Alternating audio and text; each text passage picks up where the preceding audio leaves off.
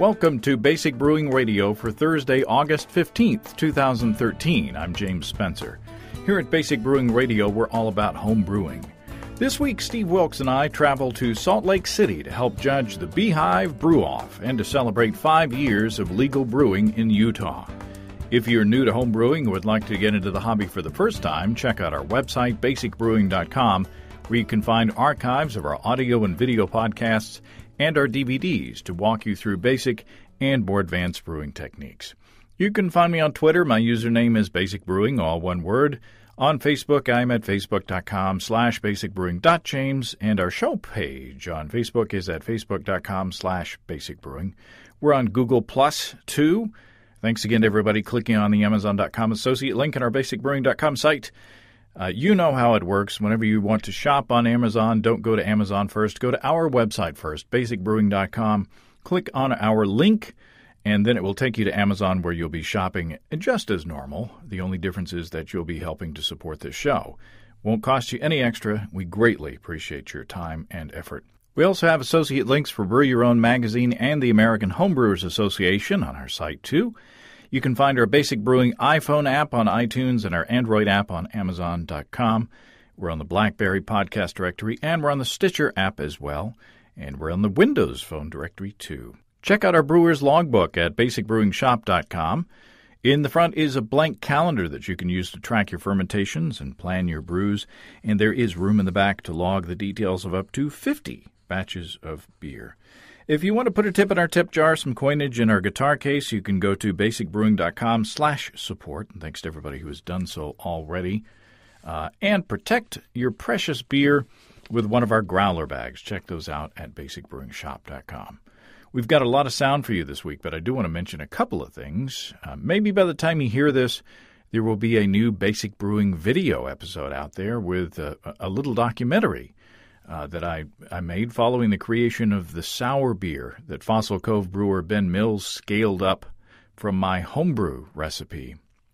Man, it is a tasty one.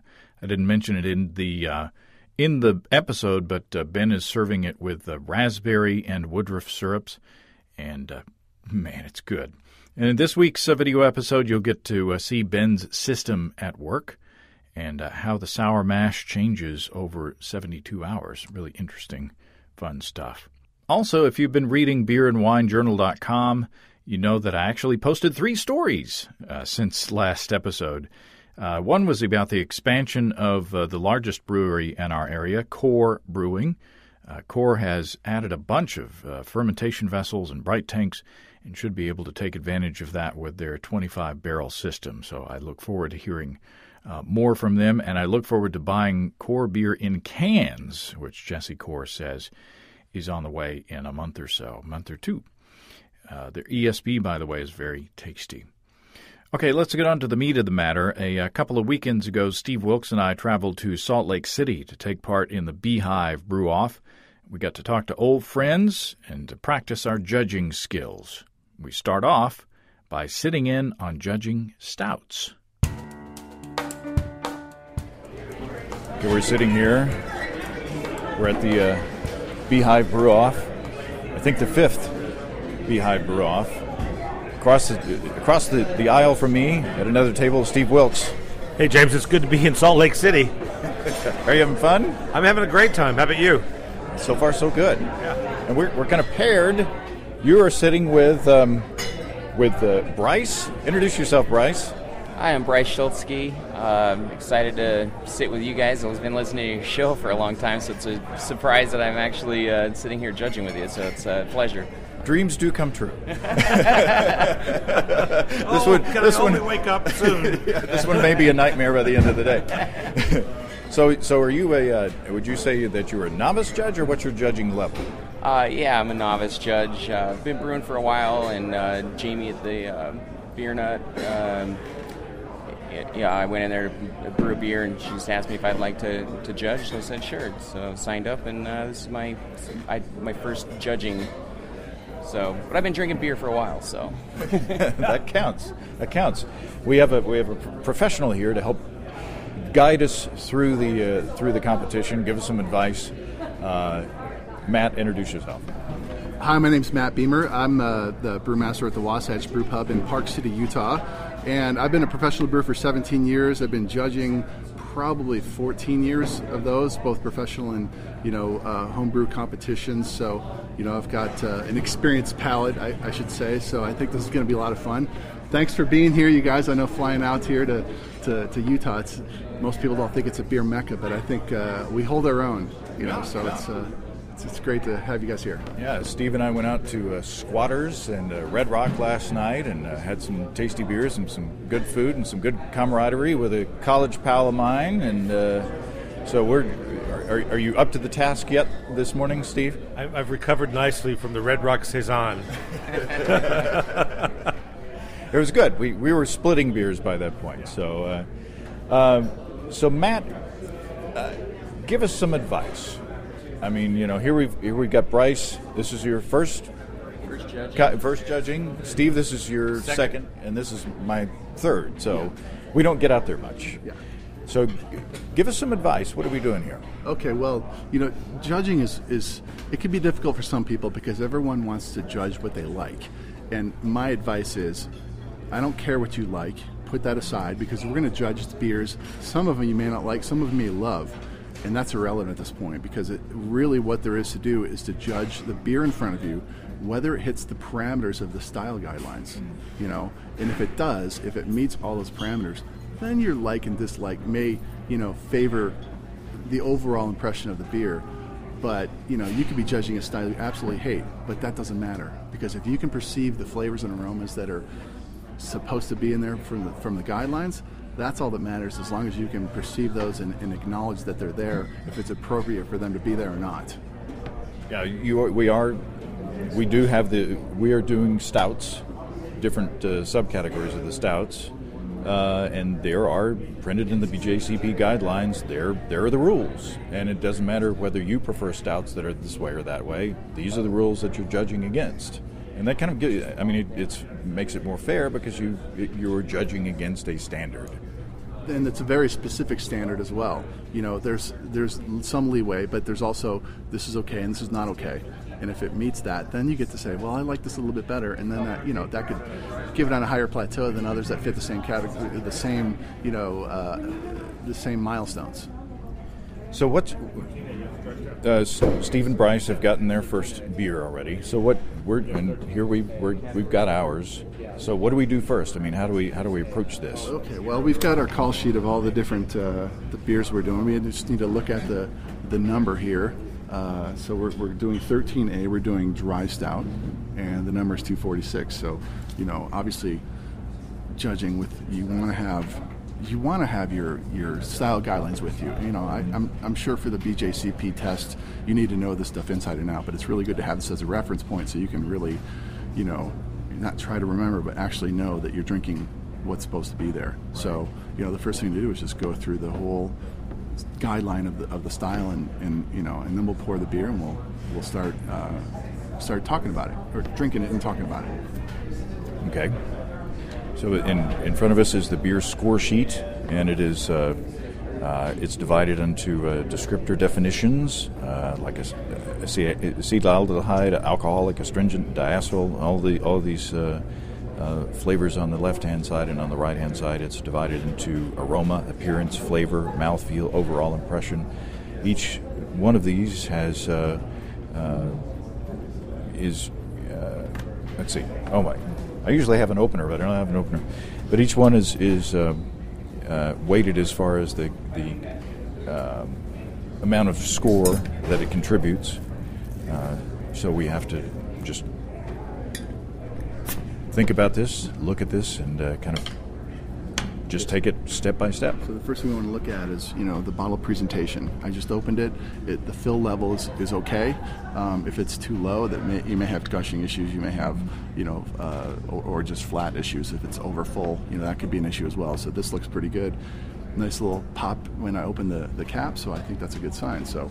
Um, that's the first bottle inspection, appropriate size cap, fill level, label removal. So we can check that as as uh, that's all within specs.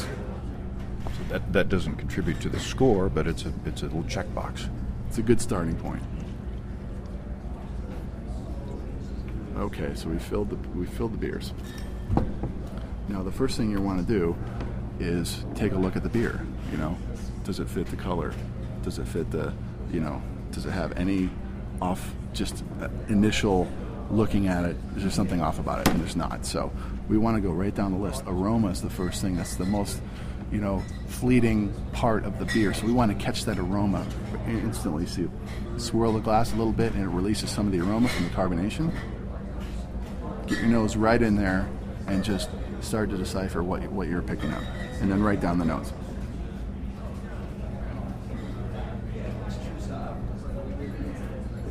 So this is a dry stout. It is a dry stout. And the description or the uh, the style guideline says coffee-like roasted barley and roasted malt aromas are prominent. May have slight chocolate, cocoa, and/or grainy secondary notes. Yeah, that's right. The first thing I pick up is, is definitely a coffee-like roasty flavor, and I pick up a slight caramel note. Um, not enough to dominate over the roast, but it's there to really complement it. I also pick up a secondary cocoa aroma as well. Not quite a dark chocolate, but a light, fluff, light fluffy cocoa is what I would what I would associate it with. And I'm not smelling any off characteristics. No, I think it's I think it hits the parameters um, quite well. You know, the esters are, are, are, low. There's there's no diacetyl, no buttery. Um, you know, it's just a just a nice cocoa roasted slight caramel notes. In your opinion, is it is it harder to figure out what to write for good beers over bad beers? Actually, no, because what I do is I'll say, "Wow, I pick up this. I'll write it down. Oh, I sense this. I'll write it down." If it's an issue, I'll still write it down, but I might say, "Next time, look out for this." You know, if it's you know if it's a buttery, it's a buttery uh, you know diacetyl type flavor. You might want to say something like, "Well." You know, um, the, the, the diacetyl is kind of overtaking this and this and this, you know, be careful on sanitation. Be careful on, you know, if it's a yeast that's prone to throw out a diacetyl flavor, you know, if it is. It's not like you know, you know, perhaps a diacetyl rest could help, you know. You, you want to give some constructive criticism and at the same time acknowledge that something is off in the beer. So they can, they can, you know, take the time and pick up that for themselves and then you can give them some suggestions on possible ways to to improve it on the next time they, they brew it. Because they're, they are, a lot of people are participating just so they can get some, some honest, uh, detached uh, feedback, you know, because, you know, if you give a beer to your friend, you know, it's a touchy situation. You may not want to be as honest as you possibly could be sometimes. Yeah. Uh, Especially considering they're getting free beer from you. They don't want the source to dry up.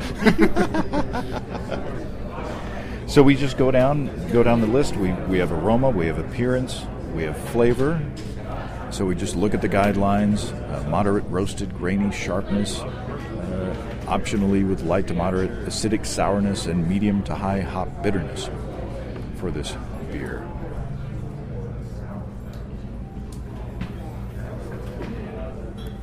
Mm. That's a tasty beer. Yeah, I, I, I initially taste like a like a dark roast, you know, in, in the coffee terms, it'd be like a like a French roast type type, a little little more intense roast in there, which I think is completely appropriate. Um, I get a little bit of caramel notes, but then I get a real bitterness from most likely hops, that like an aggressive hop bitterness that shows up, and it's it's there. It, it may be slightly. I don't think we do. We have a steward. Yes. Okay. So it, it, it, may be a little high for the dry stout category. It could push it into the American stout, which is a little bit more hop forward. You know, we'll just have to evaluate it at the end. And you know, one thing one thing I do, like when I'll when I'll move on to the next category, I'll start with the aroma and smell it. I'll go to the appearance and I'll go to the flavor, and I'll just keep on revisiting things. Sometimes that can come back, and you'll pick up something that you didn't before from you know the carbonation waning, the, the, the, temperature of the beer starts to rise a little bit, and you may pick up some more nuances. So it's always good to just keep on revisiting in, in case something else shows up that, that, that wasn't there before. Very good. And the carbonation level is good, which probably adds to the, the sharpness of the uh, of the flavor as well. Mm. And again, I'm not tasting anything wrong with the beer as far as a defect in the brewing process. Uh, I would agree that you know there's a, there's a robustness to it. It's not overly done. It's not overly you know uh, a blast of alcohol, which you know the dry stouts you don't want it to have it be that. You want to have a real dryness to it. And this certainly has that. You know, and there's a there's a good bitter backbone to it. So you know there's nothing off that's really slapping me in the face like sometimes it does. And the mouthfeel is good as well. It's not thin. No, I'd say it's it's medium to full in the body. You know, there's not a whole lot of residual sweetness because I think the roast kind of tamps that down. But it's not. It doesn't have a thinness. It doesn't have too much. It's, it's it, it kind of threads the needle right right in the middle of where it should be. And so we like for aroma, it's the score is something out of twelve. Yes. Appearance is something out of three. You know, flavor is worth twenty points. Mouthfeel five. Overall impression ten. So it, it, a total potential total score of fifty. Now nobody's ever going to get fifty, right? You know, I've I've rarely given anything over 45. You know, because there's always room for improvement, and I could taste it the next day, and it may have a completely different score just based on what I drank before. You know, where my palate is at. You know, there's so many variables that, that you know to have it just hit a perfect 50. I, I would lo- I would love to see that, but I'm not. You know, I'm not just going to give away points because it's I like the beer. It's got to really really earn that. And we've got bread and we've got water here for uh, uh, to kind of clear our palates between each beers and sometimes between each taste. You know. Absolutely, because you know, basically the bread and the water it resets your palate, and sometimes you need to stop, look away, you know, exhale, reset your palate, and start all over again. Because, like I said before, when you go through each one again, you may pick up something you didn't before. Because you, you can get palate fatigue. Although, you know, we're not drinking a whole pint of this. We're, we're kind of sharing a, a 12 ounce bottle, and you know, half of it's still in the bottle because we're just having a sample of it. So. Um, And we may the way we're doing this is uh, uh, Stephen and Bryce are, are over there. We're kind of splitting this category, so they're judging some, we're judging some, and we'll do kind of a mini best of show uh, for this. So we may we'll probably want some left in the bottle. Well, with any luck, they may have another another uh, bottle because I, I believe they give out three. They, they have three bottles be here, so it'd be one for now and one for the mini best of show. And if that goes on, it could be for the for the best of show for the, for the entire competition. So we're we're doing well. How are you guys over there doing? Doing great. I, I like this beer a lot. I wonder if you're judging the same beer. Probably not. But anyway, we've got a really nice beer over here to work with. I think.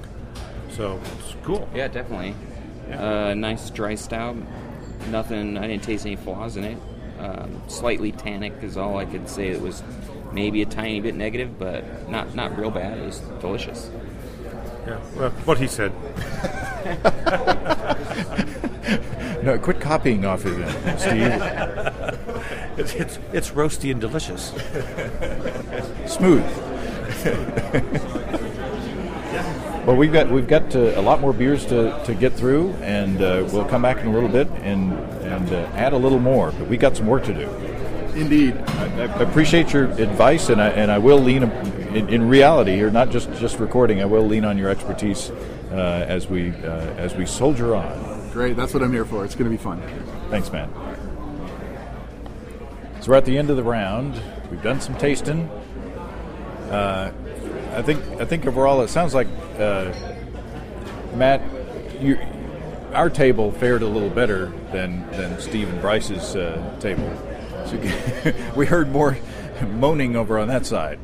That's just because I need a truss. You can only sit for so long. I long. only sit for so long.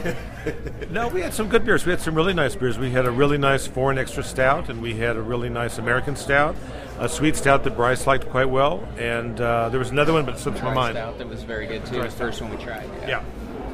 We also had some very good beers. We did. I was uh, pleasantly surprised. You know, uh, sometimes you don't know what you're getting yourself into when you enter some of these categories as, as a judge. And you know, I had very little diacetyl, very little acetaldehyde. You know, bombers. There were a couple of stinkers, but you know, you kind of expect that. But uh, overall, I was I was quite pleased with uh, with what we tried. So, what did we like the best? I mean, there were we were judging American stouts, We're judging uh, sweet stouts, dry stouts. Uh, we there was an American stout that we liked quite a bit. Stout, yeah, stouts. Uh, foreign extra stout, oatmeal stout. What else was in there? Dry stout, sweet stout. That's about it. Yeah. Yeah. Um, you know, really, we only had a, our our flight. Really, we had one beer that was just so problematic that it, it was just really infected. Uh, our hope is that the, the batch wasn't, but that the bottle was. Um, and then we had another beer that was uh, that we actually scored quite high. We gave it 39 points, but it uh, the presentation of the beer was just atrocious. So. Clean What do, what do you mean by that? I mean, clean your. La- I was uh, clearing my palate. Clean, clean, clean the labels off your beer. You know, it's like you'd scratch the labels off, or she. I don't know who brewed it. And there was a ring around the outside of the cap, so not inside, but the the outside of the neck, uh, that was just dirty and rusty.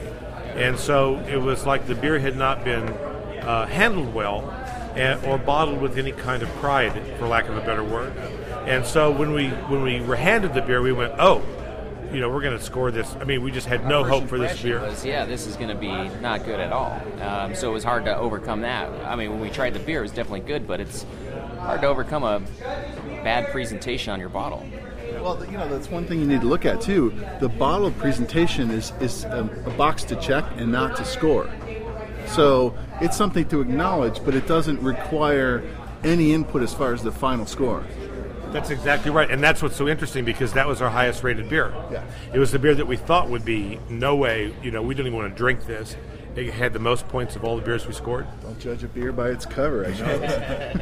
So Matt, I mean, if we if we come up with a beer like we had one that was the most unusual beer I think we've ever poured. It didn't gush out of the bottle, but when we poured it in the plastic cups, it grew and grew and grew and grew inside the plastic. You know, the nucleation points in the bottom of the cup uh, allowed the beer to grow. We, as judges, it's not our responsibility to say maybe this is a bad bottle. Can we have another bottle? Right?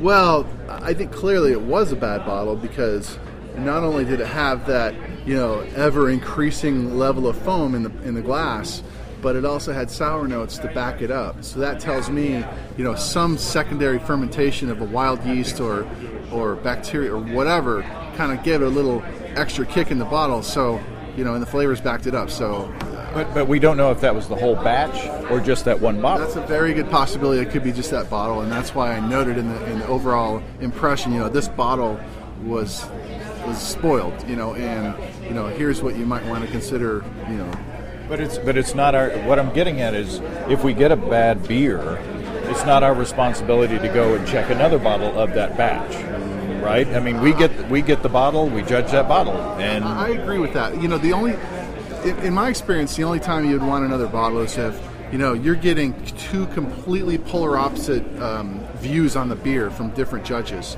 And you may need like, well, let's get a fresh bottle. Let's start over. Let's make sure that you know all the parameters exactly the same.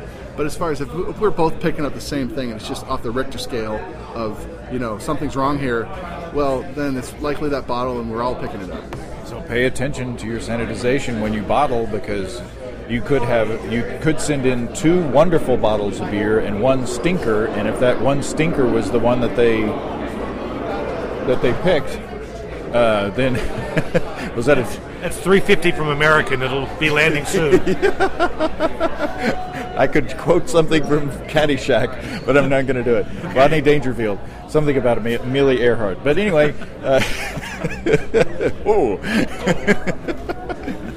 so but anyway, pay, it, it pays to pay attention. I mean, and you know that that one uh, bottle that you guys thought was nasty looking. There's another one. Oh, there's a, is that the same one? Probably, I'm guessing it's from the same brewer.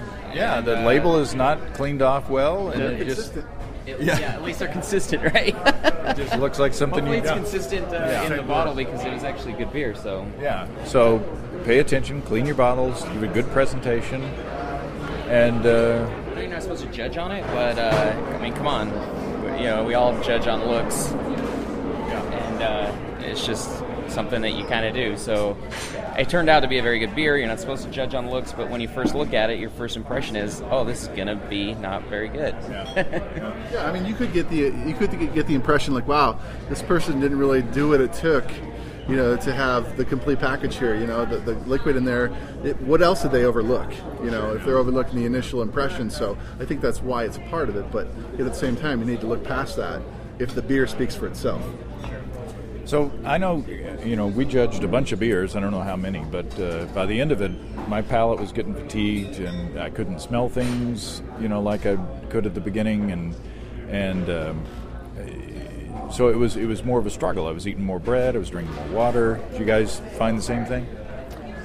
Uh, yeah, it's it's hard too when you're going from one beer to the next because you might have scored one on aroma, for example, and then you get one that's that's even better. So you want to go back and change your score because you don't want to go too high on certain things. It's just uh, it's it's hard to score them like that one at a time. I thought um, you do your best, I guess, and that's what you do.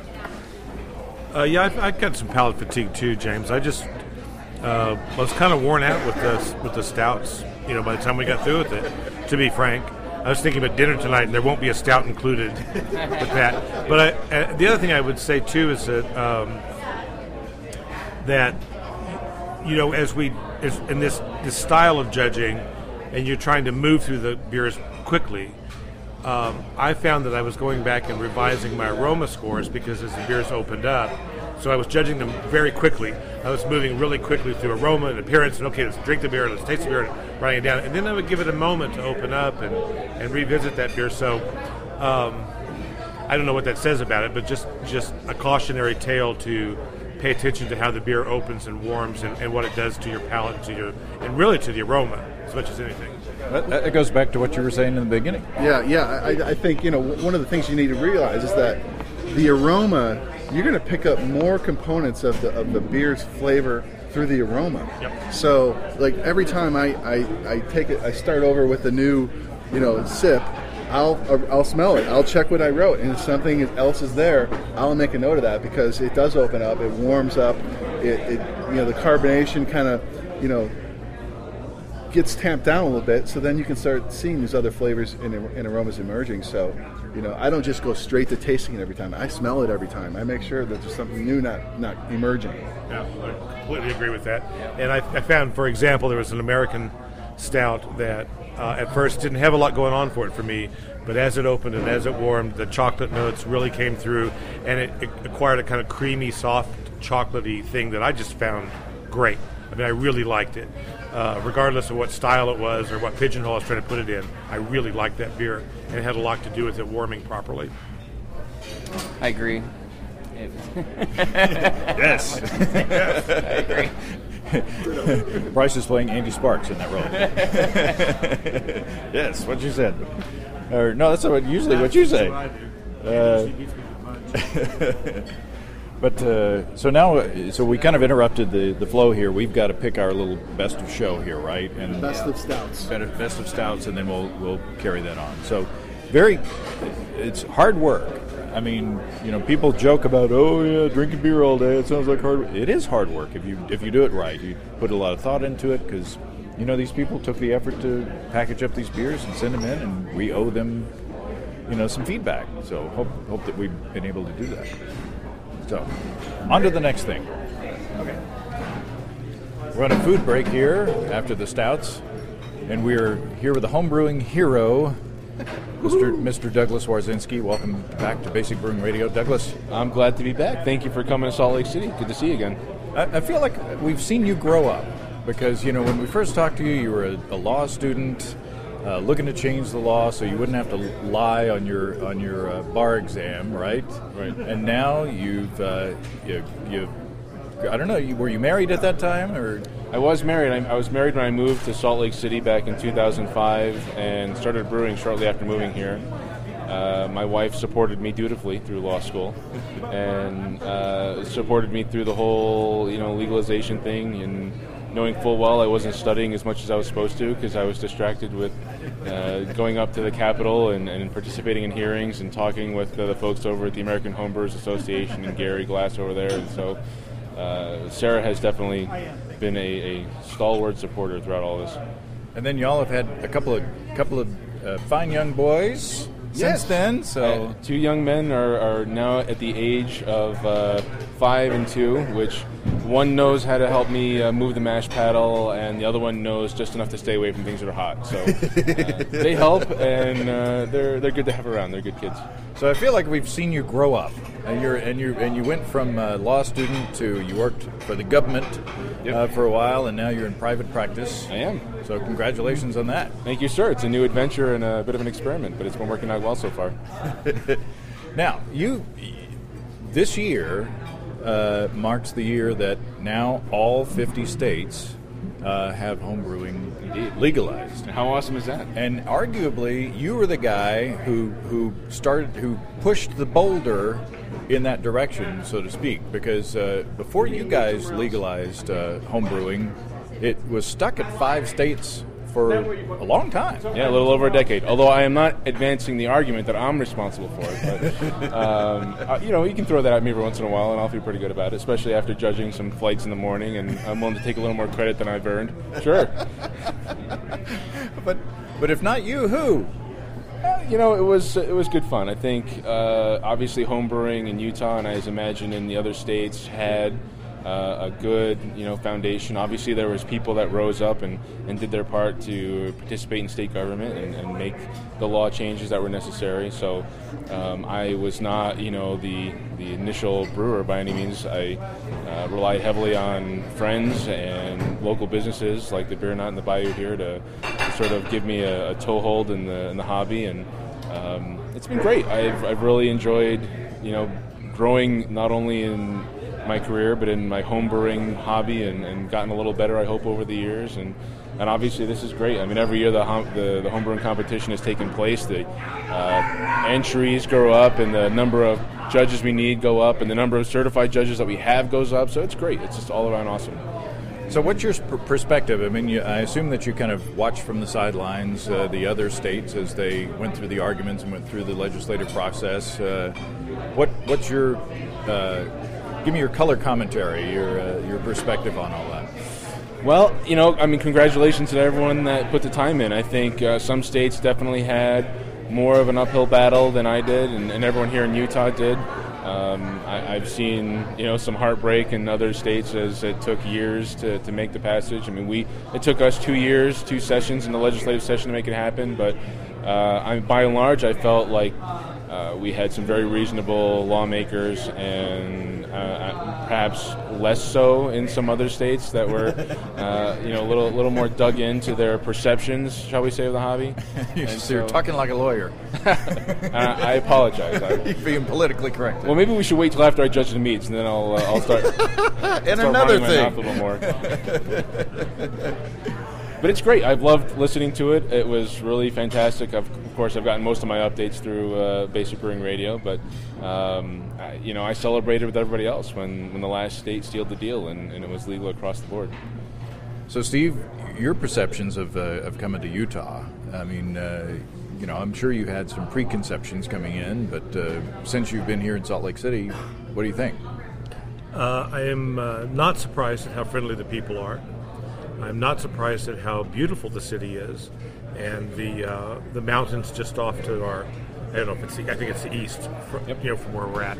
But uh, it's just a lovely place. I've never been to Utah. I kind of grew up in Colorado, so the landscape is a little bit similar. You know, it feels homey to me, um, and the beers are really good. We went to, made it to a couple of brew pubs last night, and the beers were great. And um, I don't know. That's just my perception. The Beehive is great. I mean, this is a great competition that we're getting to judge some cool beers today. So, yeah. Yay, Salt Lake City. Yay, Utah. Yeah, that's my plug for Salt Lake City. So I do get a commission from the tourism board. the Utah Tourism Board. The Yeah. governor's check is in the mail. Yeah, exactly. Send my kid to Boise State. So, has there, since the legalization, has there been any backlash at all, or has there any been, been any kind of uh, reaction one way or the other? Is it just kind of like normal all of a sudden? I think for the most part, it's pretty normal. Uh, you see the occasional news article where it pops up, good or bad. I th- there was, strangely, uh, south of the city, uh, a an in in the basement distillation operation got broken up, and the police officers, when interviewed, uh, said, you know, well, distillation is certainly illegal, but homebrewing is still technically legal. And I kind of took issue with the fact that he said still technically illegal because we're really sort of in the opening years of it being legal, and so I I shudder to think that there's at least some portion of the population that feels as though it's it needs to be unwound, um, whatever damage I, have done to the state. But um, you know, for the most part, I think that it's been pretty positive. There has been some recent articles um, about the increase uh, female population that's been brewing in Utah. We have our uh, our own Jamie Burnham, who runs uh, manages the Beer Nut. She's also one of the key members of the Hop Bombshells, which is an all-female homebrewing club, and they do they've submitted some great beers to the competition, I'm sure, and they're they're a fun group to be around. So I think the the hobby has grown up. I think the community sort of understands us. Um, you know, and truth be told, there's of course, in any law, right, there's going to be some ambiguity. Exactly how do you serve or transport home brew, and and how tr- carefully do you tread? Um, you know, in a state where you know full strength beers aren't aren't served on tap in beers. Uh, anytime a home brewer talks about you know having three or four taps of homebrew in their basement, I sort of cringe a little and I think, well, you know, I, I can't opine one way or another as to whether or not that's okay, but that's certainly drawing some additional publicity to the hobby, uh, which is of course a good thing, but you're never quite sure how uh, how some people react to the expanding hobby, and so um, I'm very happy the hobby is expanding the way it is, and I, and I, hope it's it's perceived as being a very positive thing in the state. Uh, we certainly have all the typical arguments being advanced by you know, local breweries that say, listen, you know, home brewers become brewers, brewers become tax revenue. It's a part of you know an economic development thing. So I hope it's I hope by and large it's good. But you know, we keep I keep my eye on things just to make sure we're, we're uh, still in good stead with the lawmakers. Ever ever vigil- ever vigilant. Agreed. I've, I've yeah. judged flight ever vigilant Douglas Warzinski, homebrew hero here in Salt Lake City. Cue the music.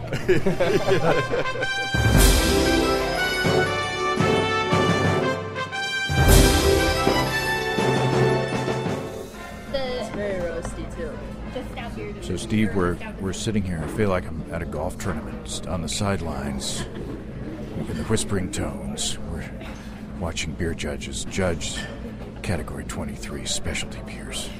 It's, it's a tough category, and uh, I think the fairway is open on the left side. I'm seeing oh, there's some roasted coffee going down right now, and it, oh, it's a it's a good drive. Yeah, right, s- straight down the middle of the style guidelines. I think maybe I'd say. We're you guys introduce yourselves. Uh, hi, I'm Chelsea. I'm Bonnie. And I'm here with Steve. And I'm Steve, as usual, as always. We, we're, we're imposing upon the, uh, the table here, you're judging uh, category 23 specialty beers, which to me, it might be the hardest category to judge, and Bonnie's nodding. Yes, it's I. We've had a lot of uh, discussion of this because there's such a variety of beers that get entered into this, um, and certainly our first question that we ask ourselves when you're judging a category like this: Does it belong in a different category? Um, because it's such loose definitions as far as you know, based on BJCP standards, such loose definitions on what's appropriate and how to judge it. So it's a hard category. Absolutely. Um, there's no right or wrong way to judge this category, that's for sure. So, is, is the first question you got to ask uh, does it actually belong in a slot? Yes. Yeah, that's. I, I would say that's, um, and right in the BJCP, that's what it says. Starting out, it says, okay, the first question. This is a catch-all category. Pretty much everything goes in here, except does it belong somewhere else? And that's really the first question I think we've asked as we've tried each of these beers. So so far. And what's a percentage of those that do belong somewhere else and, and that do are actually specialty beer? At least 30%, if not more. I don't know. It's hard to say. I, I did this category last year.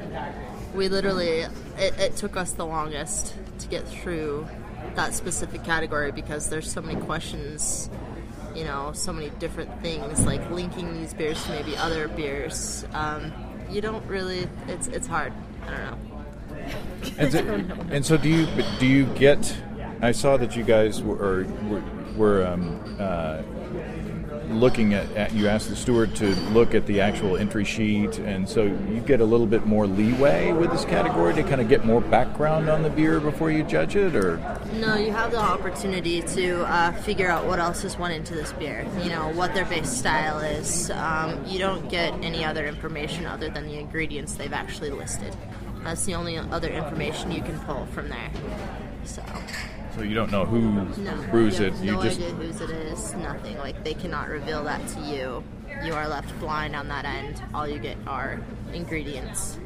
So. So, so you, you know what to look for when you're when you're tasting. Mm-hmm.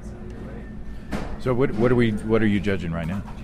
Um, currently, it's and again, this is why we had this uh, score sheet pulled, or the sorry, the score sheet with the um, brewer's notes pulled, is because the basic information we were given was that it had um, coffee and cocoa nibs and um, lactose in it. And of course, so I, I hear that and I'm thinking that's a breakfast stout. That's yeah, completely what it tastes like stout. is a, a, milk stout with, you know, coffee added to it, a breakfast stout.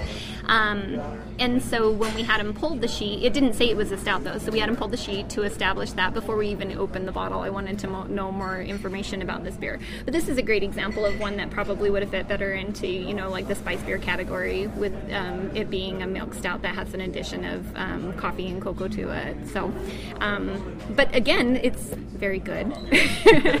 Working on it right now, it's very good, and um, it's hard in especially in this category, particularly because it is such a catch-all. But that would be the one brewers as you're you know deciding where to enter it in these competitions to take that into consideration will it fit it better into a different category and don't think because specialty says it's a catch-all that that's necessarily where it should go you know because it might show better in a, in a different category so and what's what's your background in, in brewing and beer? well, home brewing mostly. Um, I've I've helped my husband quite a few times. He's a very experienced home brewer, but I've done several myself, and I have several in this competition actually.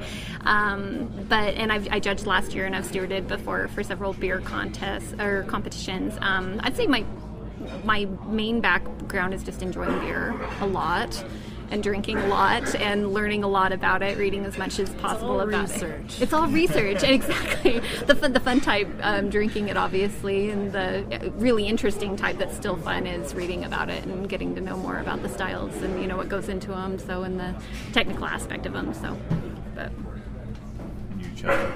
Um, I actually got into home brewing um, when I started working at the Bayou. Um, got interested in all the different beer styles and all of that, uh, what you could do, different flavors, everything. I mean, and so I was curious as to the full process of brewing, like how it all works, like how to how can somebody make so many different types of beer, you know, instead you know with a lot of the same ingredients, but how can they get so many different flavors? So, I mean, I got into it just by being curious, and then I started making my own home brew, and you know, learned a lot more doing that because you get a chance to pick it apart. You get a chance to see what goes into different styles, and it helps you understand, you know, where a style gets its flavor from, where it gets its color from, aroma, everything, um, how it ferments, temperatures, all those things. Um, just so many different factors to beer that there's a lot of combinations you can do. So this is the perfect category to illustrate that. yes. what was? Do you remember what the specialty beer uh, that won the category was last year? I don't. I, I, I didn't judge it. I didn't get to judge it, although I did um, kind of crash the mini best in show because if there's good beers around, you know, I'm going to go try to try them.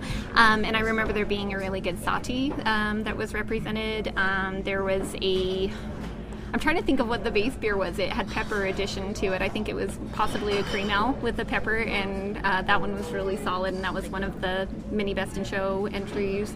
Um, I don't know. Yeah, I didn't get to judge it unfortunately, but those were two standouts that I remember that were kind of. And again, it's. Uh, just kind of those um, odd. They don't really have a home other places, so they get to come here to.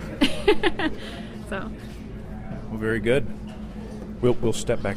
We'll, we'll step back and watch from the sidelines again, Steve. We're, Okay, when uh, after the break, we'll come back and uh, I think there'll be some coffee and some cocoa headed our way.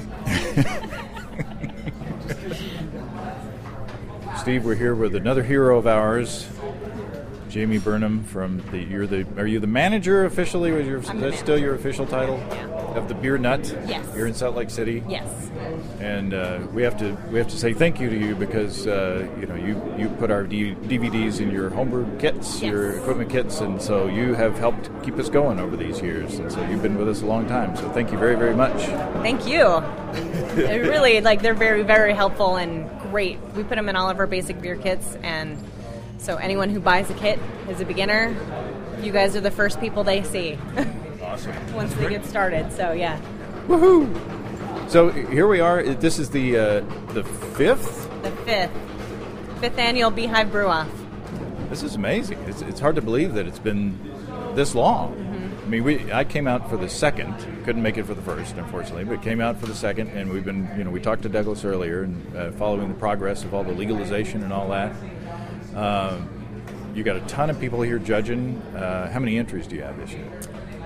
I don't have an exact number, but I believe it was 590 something entries. Entrants, there were a little over 200 people.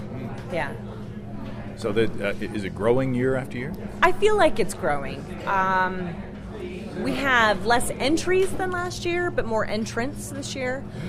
We were really strict on only allowing one entry per subcategory. So that was the reason why we didn't have as many entries as last year. Last year we had 690.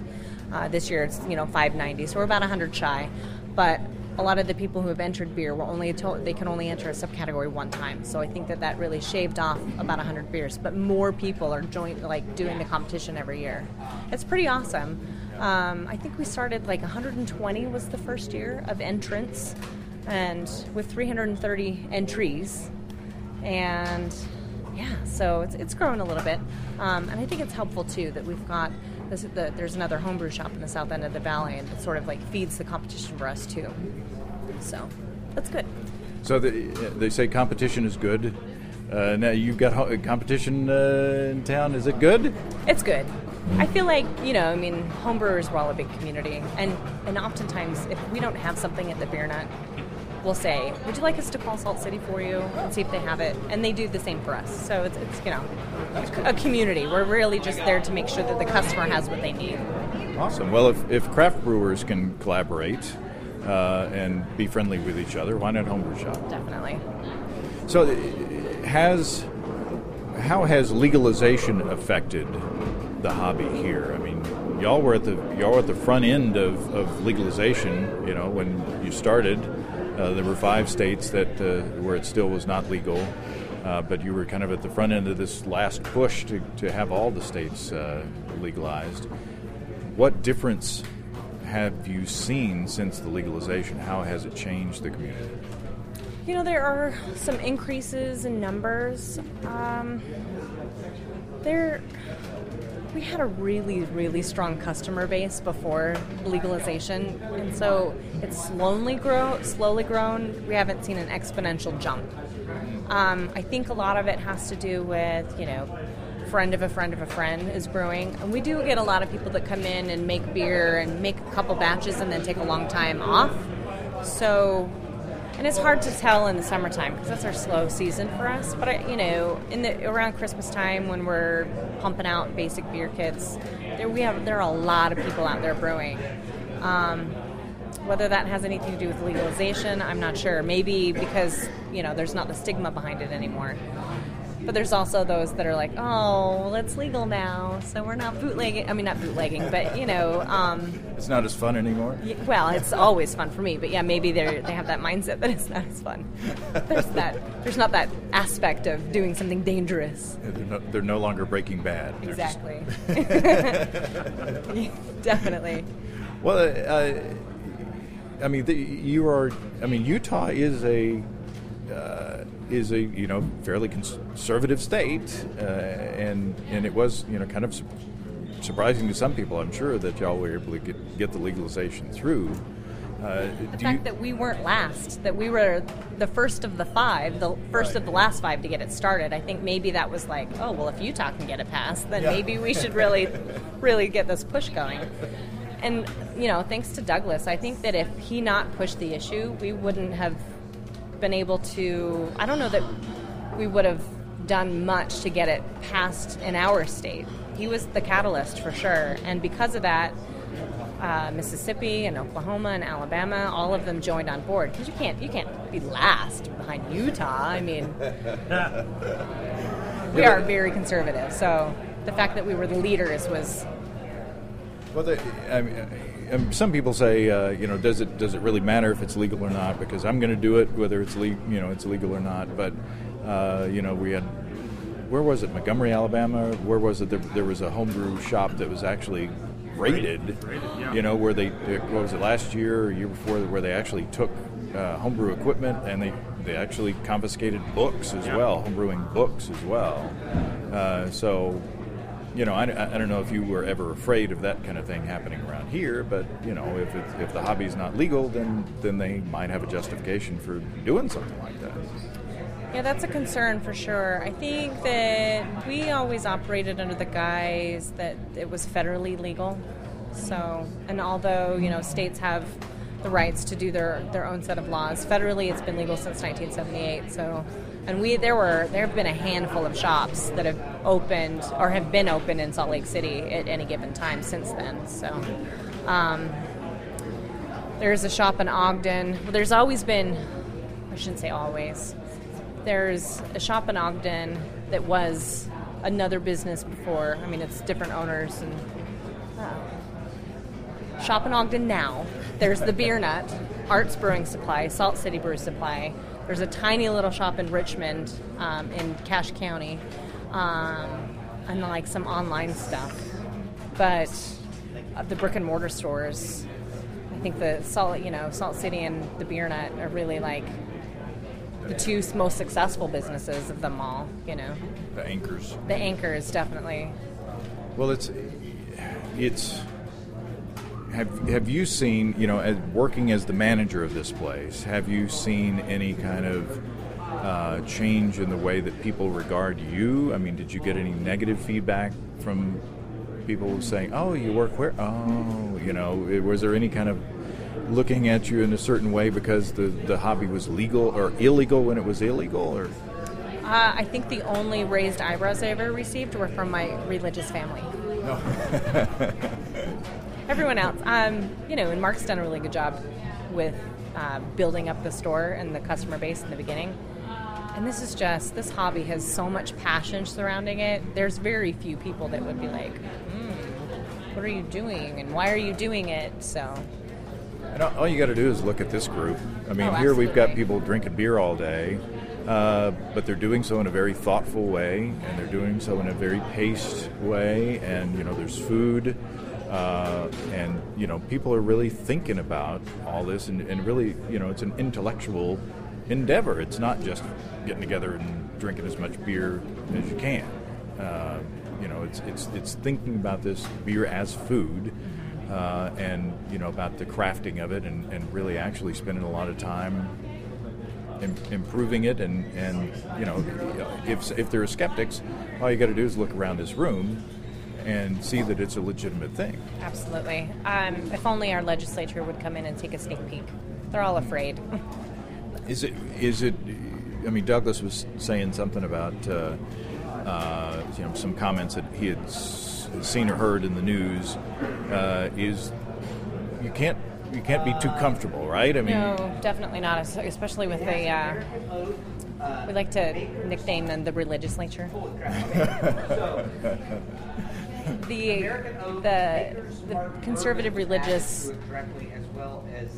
legislators that we have have very loud voices, and those of us who are responsibly drinking and making beer, unfortunately, just don't have a voice.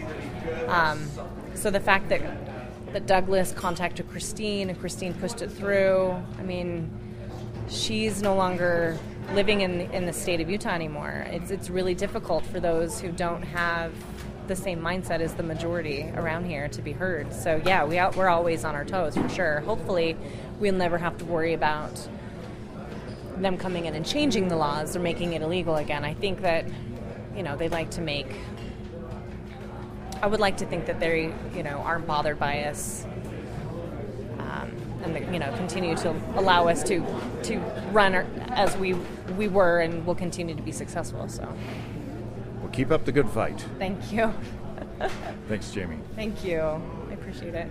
Thanks, Steve, for your comments. Uh, it was uh, very insightful and succinct as usual. well, thanks again to Steve, Bryce, Matt, Chelsea, Bonnie, Douglas, and Jamie. What a great time. I hope the hobby continues to grow out there, both on the uh, amateur and professional level. Lots of great beer is being brewed in that area. If you have brewing questions, show suggestions, or just want to say howdy, write to james at basicbrewing.com or just fill out the contact form on basicbrewing.com. And please don't forget to tell us where you're from. Our Basic Brewing growler bags are available in our shop. Protect your precious homebrew and craft beers you take it from place to place. Check out our support link where you can throw us a couple of bucks into the tip jar by subscribing financially to the podcasts. Uh, help us pay for plane tickets and such so we can go to more fun places. Uh, be sure to check out our DVDs Extract Brewing and Partial Mashing, Stepping into All Grain, Low Tech Lagering and Decoction Mashing, and Introduction to Wine Kits. You can find them all on our site. We've got combo deals to save you a few bucks if you want to buy more than one DVD at a time, and you can check out our Basic Brewing shirts in the store too. Uh, don't forget, our Brewers Logbooks are on the store as well. Keep track of up to 50 batches of beer. You can see a listing of the fine folks across the country who sell our DVDs on basicbrewing.com and if there isn't a vendor in your area, you can order them online in our online shop at basicbrewingshop.com. Thanks to everybody who's continued to click on our Amazon.com link. We appreciate the support there. Our featured products this week that were purchased through the link are Glencoe Chemistry Matter and Change Student Edition. And, boy, uh, if, if, if that's a textbook, textbooks are expensive. Whew. And 700 Poop Bag Shop Dog Waste Bags uh, durable premium bulk refill rolls, blue or black color plus bone dispenser. Thanks again, everybody. Remember, I can't tell who bought what, so no worries there. Just click on the Amazon.com logo on our site the next time you feel like Amazon shopping. We greatly appreciate your support. And we greatly appreciate your cleaning up after your puppy. Don't forget. Don't forget that you can also join the American Homebrewers Association or subscribe to and and or subscribe to Brew Your Own magazine through the associate links on basicbrewing.com. That's all until next time. Until then, thanks for listening, everybody. I'm James Spencer. Production help for Basic Brewing Radio and our website is provided by Kelly Dotson. Basic Brewing Radio is a production of Active Voicing. Talk to you next time, everybody. So long.